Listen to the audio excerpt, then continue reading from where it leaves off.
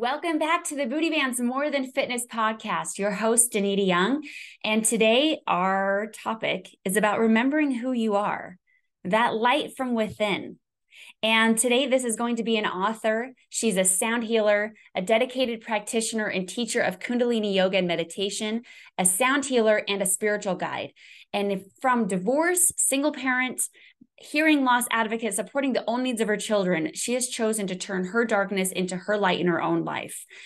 Embrace all those challenges, as we know as lessons, and forever change the narrative of her future and that of her family. So let's go ahead and introduce Lisa Annese and welcome her in today's podcast as we learn something from her life that can help see our light as well. Let's get started. Booty Bands and Barbells helps busy women sculpt and tone their bodies in just 15 minutes a day through our physical products and our one on one coaching. The amazing book that you just wrote, as far as I Am Light, and mm-hmm. I love it. It's 180 days to remember who you are. So yeah. I want to ask you, what was the reasoning for actually writing the book? You kind of explained it a little bit in your book, but I wanted to hear from you. What what was your reasoning behind writing it? Yeah, well, thank you, Denise. I, yeah, I absolutely love the flow you're talking about here. So the book was written for my boys. I was going through separation and eventual divorce. And I wanted my two young boys to know the truth about life and what was going on. And I felt this deep connection to write it down. Um, writing became very healing for me as a way to process all the difficult emotions that were going through a divorce, separation with a relationship. And I felt this massive calling to do that and share. And that's why I wrote the book, I Am Light. Mm, thank you for sharing that.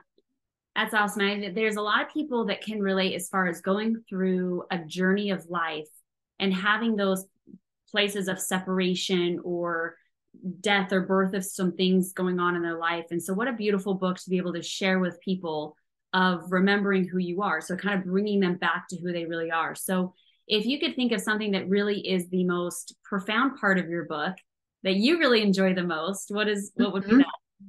So I wrote the book and my son also was going through a hearing loss diagnosis at the same time. So I was toggling both a divorce and the hearing loss diagnosis, but also I was 40 years old and I recognized the real biggest thing was I was not living living the truth.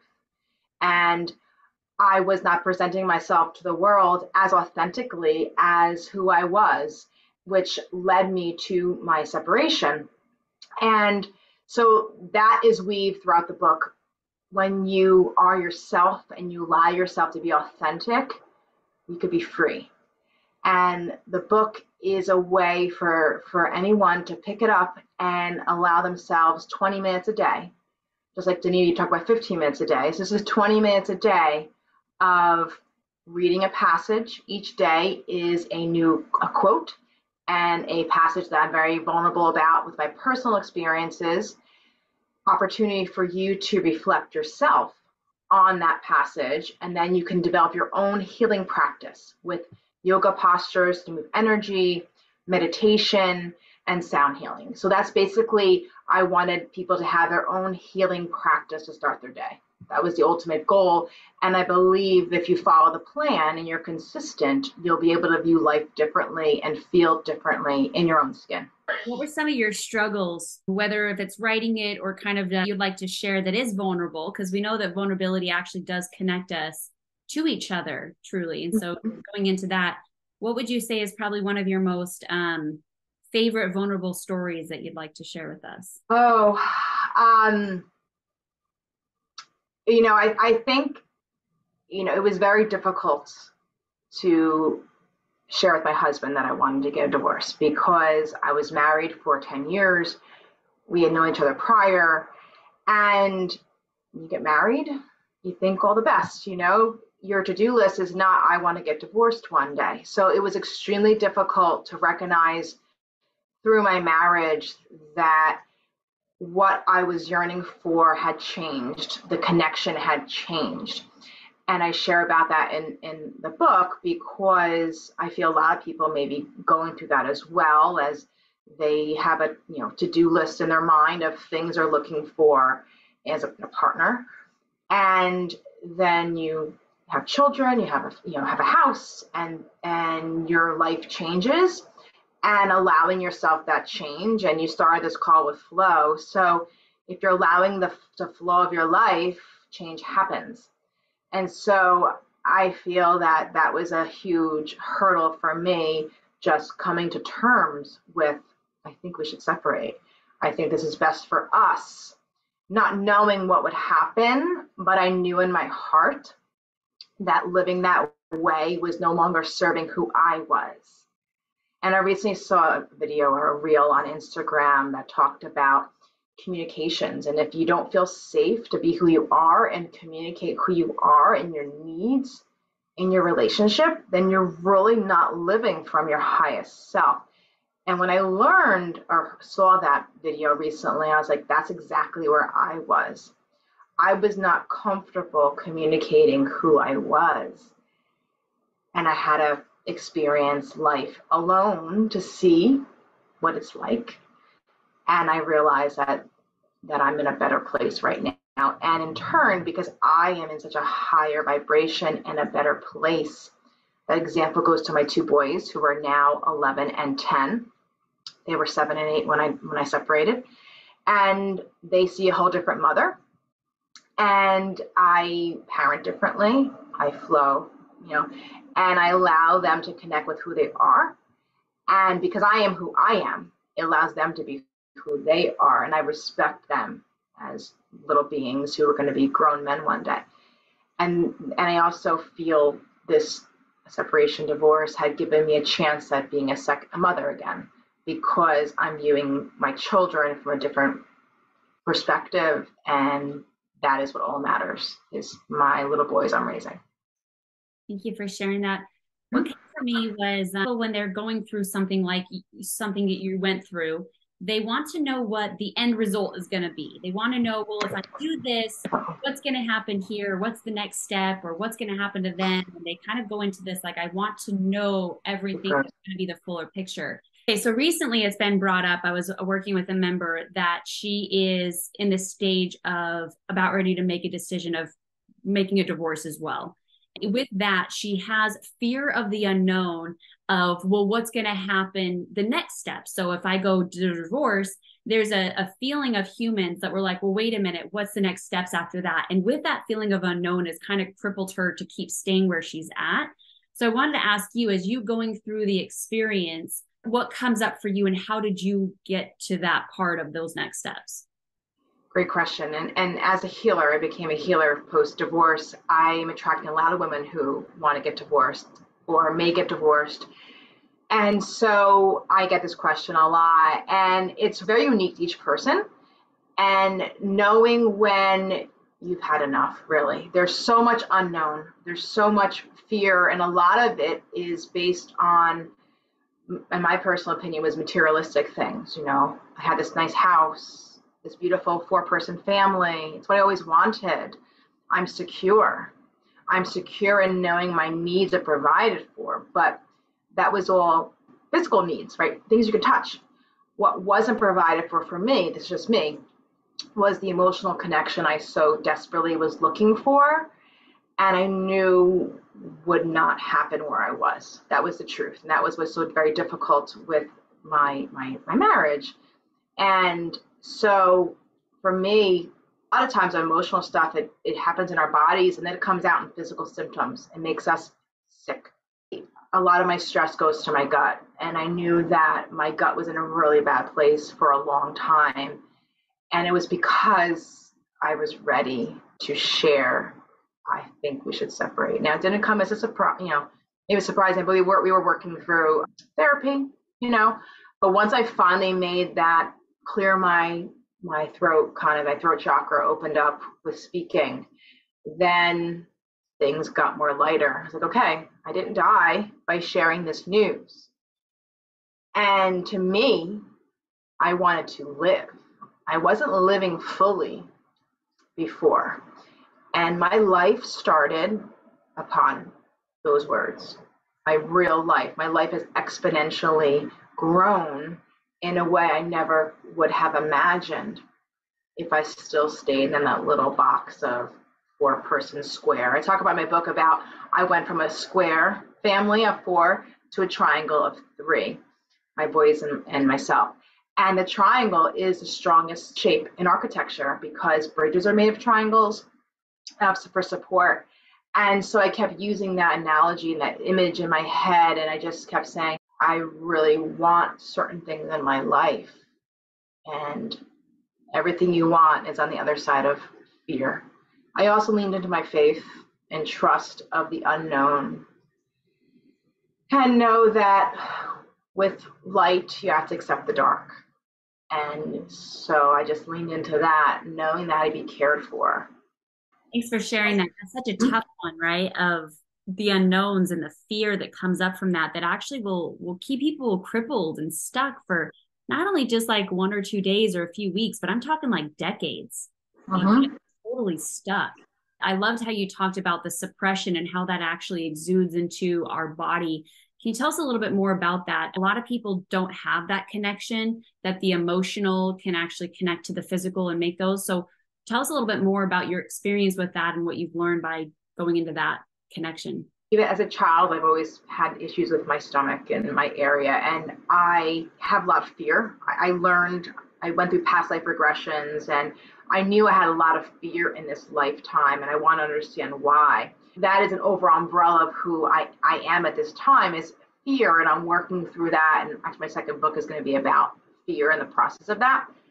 So for me, I know my triggers go to my stomach area in the, te- in the sense of bloating or stomach upset. I'm very cautious about what I eat because I know it can, can affect me. And you know, our body holds on to these these emotions, like I mentioned before, and that's like the work that I do. They can be cleared with these bowls because it helps to loosen loosen up the emotion and let it go. And I have so much gratitude for learning about this because you know I don't want a disease to develop in my body and lead to other um, issues, concerns, you know, down the road. And so being mindful of our situation and how we're feeling is key to, you know, being a stepstone to things gravitating to like a worse decision kind of thing. There's a really good quote that I share in my practice with disease. And disease is because there is disharmony in our body or an imbalance in our body. So having that balance, being aware of the mind, the body, you know, your spirit needs. This is a struggle for everyone. I'm always you know, still working on this. I'm 43, and that's why I found you, Danita. I needed to have more balance with my body, what's going on. Acknowledging that it takes time. It's not going to go away overnight. So I think the biggest share would be to spend time alone with yourself, being in stillness, because that's when the answers happen. Everyone's different. You have to trust your body and what's happening. You mentioned bowls. I know I'm, I'm going to assume some people on here don't know what bowls are. And so these sounding bowls, but can you tell us a little bit more about sound bowls and how they work for those that have never even heard of what that term even means? Of course. So here's a small singing bowl. I got into sound healing post uh, separation, and I learned that sound healing could help my son. There's all kinds of sound healing. I gravitated toward Tibetan bowls. This is a small one. You can hear it. So sound bowls, these are ancient Tibetan sound bowls. They're made of seven metals. And the metals help, and they connect to our chakra system. There's seven chakras in our body, energy centers. We hold onto energy in certain areas if we're imbalanced. And the bowls, when they're placed on the body or around the body, I do treatments for people, moves energy that we're holding on to. And when it moves the energy, it helps to balance our chakras so things can flow easily through us and we feel lighter, we feel more rested. And it's it's a form of meditation because we're still and we allow ourselves to be present. And these are the power, it's sound vibrations. So sound vibrations is, is a frequency to help for things in our bodies and helps to go cellular level. So they go deep down inside, and people tell me they they feel tingles in their body when when the bowls are on them because that is an opportunity for inside ourselves to be resetting to back to where it was homeostasis before whatever happened in someone's body to cause a disconnect, a disharmony. My teacher who, who taught me the bowls, she shared that she was she discovered her breast cancer in herself from the bowls because bowls sounded different. So they're magic instruments that really I call them magic instruments because they have a way to help relieve the pain and any kind of discomfort that people are experiencing. Thank you for sharing that. You hear all the time, don't kill my vibe. right there's a vibration to us all and if you guys don't know there is a really cool frequency that we can be at and what i've been learning a lot about is that there is a difference between a fear frequency and everything else is a subset so like anger or sadness or jealousy or grief or etc and then the other one the opposite is love and everything is a subset underneath love which peace and connection and wholeness and centeredness and calm whatever and these two vibrations are seriously so opposite, and they're opposite of our DNA strands and how it connects to our codons. And it's so fascinating to learn about vibrations. And so I, I appreciate you sharing that and how sound bowls can be a part of that healing by creating that space and almost on a cellular level, kind of almost shake some of the cells and back to a level of balance and frequency, which is super cool. I know this is a little bit of a deep question, but it has been coming up. And so that's why I want to ask you this some women, when I'm talking to them, are absolutely kind of terrified of knowing who they really are. And so it's really like your book here, right? Is just mm-hmm. like coming back to you. And yeah. it, do you think that one, they're terrified to actually connect with themselves? And two, how would you how would you be able to articulate what that is like on the other side when they do? Sure. I think people have a hard time with change. I think people have a hard time with fear of what would it look like? How will my life change if I do this work? And the unknown. And also when you connect with yourself, if you do meditation, if you, you know, you read the passage in the book and you think deeply, it could bring up emotions that have been stored for many, many years. I right now am going through some things with inner child work I talk about in the book, but I'm still working through it. My father is ill, you know, dying. He's got dementia and not doing well. And there are a lot of suppressed emotions from as a child with working with him that are coming up to the surface now because they have to. It's affecting my future relationships. It's affecting how I live my life.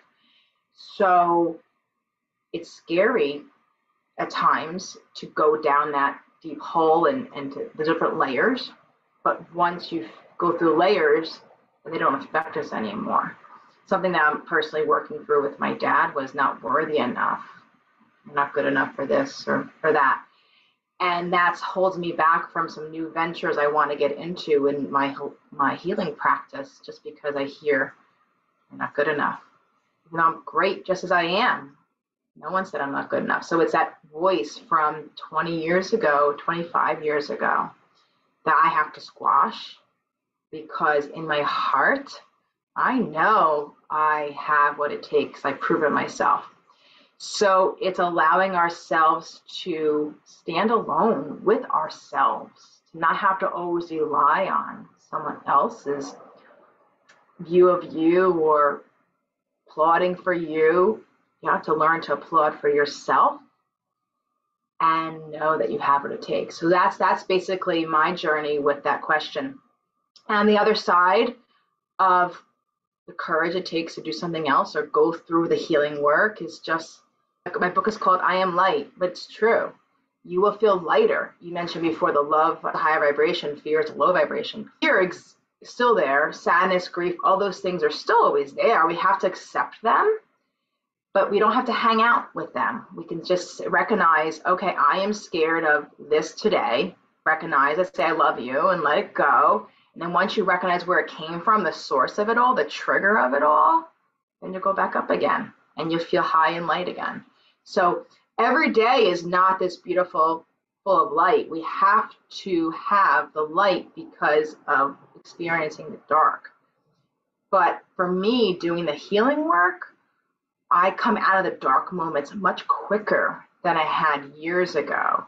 And that's what I feel is a massive benefit from going deep into your own healing work. Profound. very profound. I relate a lot to that and even got a little emotional there for a little bit is how much that connected with me. And what mm-hmm. for me, that takes strength, Lisa, to have your past and you have two choices. You can go down a path that's not very strengthening for you or your sons, or you have mm-hmm. a path of being a leader and showing like having to live, eat, breathe, sleep this new direction so that you can actually be that example for others to see that this path is safe. Mm-hmm. And the fact that you've been able to make that choice, and even though it feels harder at first going through that change that you mentioned, it's very beautiful that you're doing it so that those that are following and witnessing and, and reading that they go it's safe. And that's i think really important as a leader to kind of pave your own way first. And i feel that and see that. And i really just appreciate and i want to honor you for a moment and just say thank you for making that route so that not only your sons can see this direction your readers can see this direction and start to know that wow there is a whole better life when you start to create that connection within yourself. Yes. Thank you. Thank you. It definitely solar plexus that's the third chakra. Got a lot of work. That's the fire. I have a lot of fire in my personality and that is where the courage comes from to allow us to do these difficult make difficult decisions and to feel that you will be safe. And yes I guarantee when you follow your heart and what your spirit is saying and what the little voice says inside, like that's where you go. And once you follow that, then you'll be able to flow. And the people you're meant to meet, you and I are meant to meet clearly, happen because I followed that little that little voice. That's our truth. That cool. Yeah. That, that even answers like, well, what do you do after those big decisions? Is the flow that it actually will just show you. And that letting go is that when you're aligned within yourself that really you can actually feel safe to know that the path in front of you is is getting built already. You don't have to control that path in front of you. That i think yeah. is scary for a lot of people because that control feels sometimes comfort for them. But yeah. the real control is being able to be in that alignment with yourself which is exactly what your book is about. So thank you for sharing. Know that we have some listeners right now whatever they're going through, whatever you're going through, speak from your heart what comes up for you. Thank you for the question. I feel that all we have is what's in our heart. I never followed my heart as a young person. I followed my mind, I followed logic, and I'm very happy where it took me. I'm very grateful that I have my husband and my children with that same viewpoint. All the work came following what voice in here said. And that's all I really can share. So thank you, Lisa, for your time today. I really appreciate it. I'm going to make it easy for everybody to actually grab this book. All you have to do is just go down in the description below. There's a link that I left you guys that you could be able to follow Lisa, read her book, and connect with her. What a, an amazing energy and spirit that she is, right? So I do believe that we're connecting for all reasons. So if you're here today and you're connecting with us, make sure to connect out with Lisa as well. So Lisa, thanks for your time today. Thank you. So I have really never stuck with anything for more than six months until I found Booty Bands Barbells. It's life changing. The progress over perfection mindset has been so life changing. Have self love and to have self worth. I just do the 10 minutes and I'm already reaping the benefits. The workouts are fun and that they're effective. I have seen great results that I never thought I'd ever see. I love it because I'm keeping the weight off. We help hold each other accountable and stay committed to our goals. Booty Bands and Barbells has really changed my life for the better. I have to be real with you. The past six months really took a toll on me and my body. I felt incredibly stressed, isolated, after being a good 12 to 13 pounds heavier, said that's it, I'm gonna make healthy choices. And I'm happy to tell you today that I am actually down 15 pounds. I feel amazing. I feel like I lost fat and put on muscle. I have a lot more energy. So it's never too late to start. You can take control again. Thanks, Booty Band Nation. Positive that you will get more sculpted, more toned, and you're gonna love those new healthy changes